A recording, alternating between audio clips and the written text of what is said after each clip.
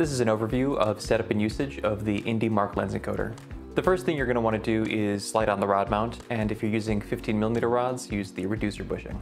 Before you plug it in, make sure to open up LowNet on the PC that you're going to plug it into. And you can plug it in with a USB Type-C cable.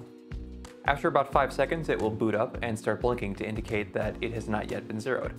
To zero the encoder, roll your lens to the starting mark, which would be closest focus, widest aperture, or widest focal length, and then press the zero button. As you roll your lens, you should see the light dimming to give you some visual feedback that it's working. Back in LowNet, you'll notice that a new encoder's popped up, and if it hasn't been assigned, it'll be on the bottom row. Go ahead and assign it, and then refer to our other tutorial for more details on how to set up the output data. For this tutorial, we're going to go ahead and use the new LOLED lens mapper program start off by creating a new map, and because LowNet is running on my local PC, I'll just type in localhost and hit enter. Now as we move the encoder, we'll see that the corresponding value is updating.